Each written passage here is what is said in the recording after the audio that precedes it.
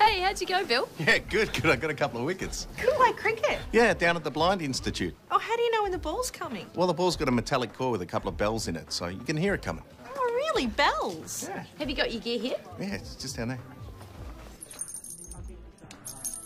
Oh, wow, that's amazing. That's really loud. You should have a bowl. Oh, come on. I'll, I'll grab my bat.